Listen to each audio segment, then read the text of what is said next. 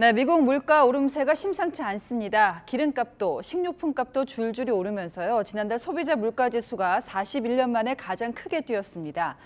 잘 나가던 미국 경기도 이제 꺼지는 건가? 경고등이 켜졌습니다. 박건영 기자입니다. 미국 노동부는 지난달 소비자 물가 지수가 1년 전보다 8.6% 급등했다고 밝혔습니다. 지난 3월부터 8% 넘는 가파른 상승률을 보이더니 지난달은 오일 쇼크가 있던 1981년 이후 41년 만에 최대 오름폭을 기록한 겁니다. 가장 많이 오른 건 에너지 가격입니다. 에너지 가격은 1년 새 34.6% 상승했고 그중 휘발유는 48.7% 뛰었습니다. 휘발유 가격은 사상 처음으로 1갤런당 5달러를 넘어섰습니다. 리터당 1,700원에 달합니다.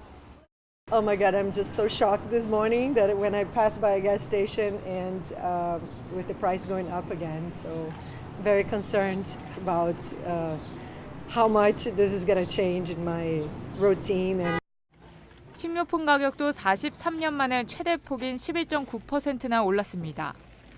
인플레이션이 정점을 찍고 서서히 완화될 거란 기대가 무너지면서 미국 뉴욕 증시의 주요 3대 지수도 일제히 2% 이상 하락했습니다.